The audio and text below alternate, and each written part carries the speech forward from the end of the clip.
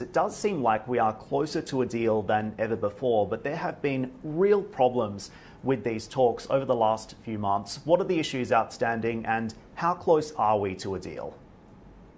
Yeah, well, I, I think the general consensus is we are much closer, certainly than we were uh, close to a year and a half ago when these negotiations in Vienna started to revive the agreement. Uh, but there are serious sticking points. Uh, there's questions about uh, the terms of sanctions relief. Uh, there's an issue of an ongoing IAEA probe. There is also the question from the Iranian side of whether there can be guarantees that the U.S. won't withdraw again, and whether the Europeans can bridge some of those gaps to provide assurances to the Iranians um, that they won't make these nuclear nuclear rollbacks and, and not get sanctions relief in return. So there are serious sticking points. The IRGC issue seems to be off the table, which is good news.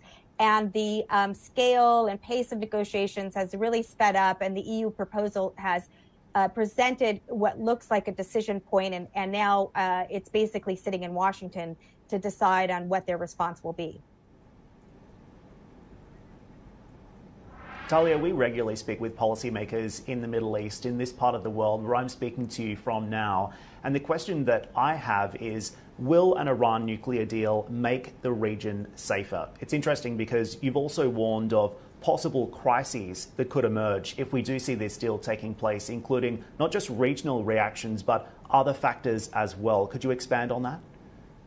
Absolutely. Well, I think first it's important to note that it would be an important gain to get the nuclear deal back in place. It's important to get nuclear constraints back on Iran. Since the Trump administration left the deal in 2018, the status quo is incredibly dangerous right now. Iran is, is enriching uranium to 60%, very close to the level you need to make nuclear weapons if they should they decide to do so.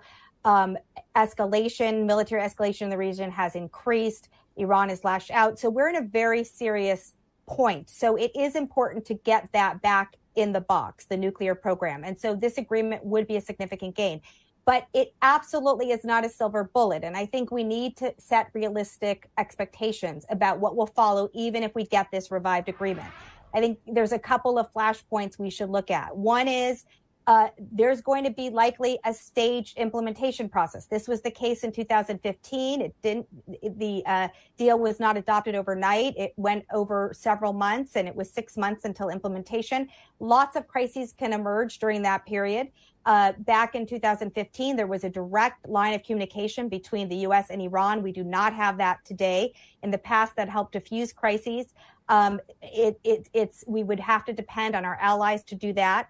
And I think the other big wild card is the regional reaction. And you mentioned how, you know, the neighborhood is looking at this and they're very nervous about Iran, not because uh, only of their nuclear program, but of course their regional activities, particularly support for proxies and their precision guided missile development and drones. So I think that's going to be a big focus in the neighborhood uh, should this deal move forward.